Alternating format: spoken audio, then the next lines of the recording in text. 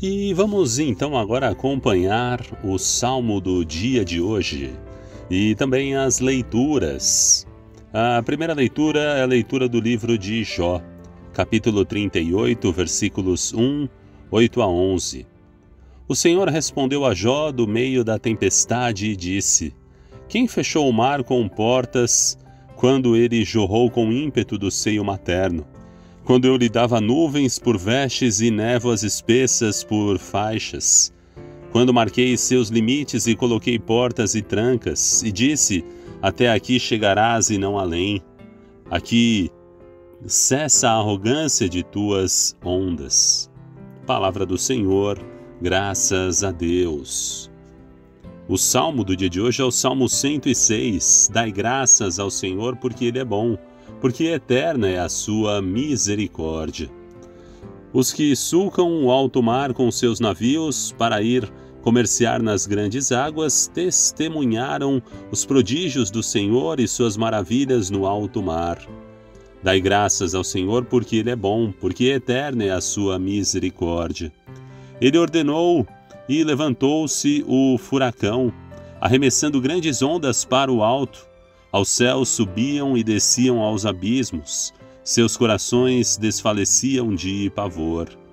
Dai graças ao Senhor porque Ele é bom, porque eterna é a sua misericórdia. Mas gritaram ao Senhor na aflição, e Ele os libertou daquela angústia. Transformou a tempestade em bonança e as ondas do oceano se calaram. Dai graças ao Senhor porque Ele é bom, porque eterna é a sua misericórdia. Alegraram-se ao ver o mar tranquilo, tranquilo, e ao porto desejado os conduziu. Agradeçam ao Senhor por seu amor e por suas maravilhas entre os homens. Dai graças ao Senhor porque Ele é bom, porque eterna é a sua misericórdia. A segunda leitura é a leitura da segunda carta de São Paulo aos Coríntios, capítulo 5, versículos 14 a 17. Irmãos, o amor de Cristo nos pressiona, pois julgamos que um só morreu por todos e que logo todos morreram. De fato, Cristo morreu por todos, para que os vivos não vivam mais para si mesmos, mas para aquele que por eles morreu e ressuscitou. Assim, doravante, não conhecemos ninguém conforme a natureza humana.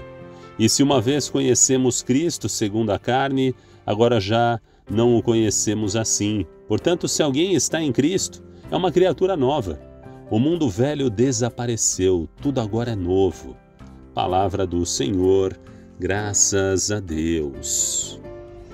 Muito obrigado pela sua companhia. Se este vídeo te agradou, deixe um like, um joinha, o seu comentário e se inscreva no canal ativando o sininho.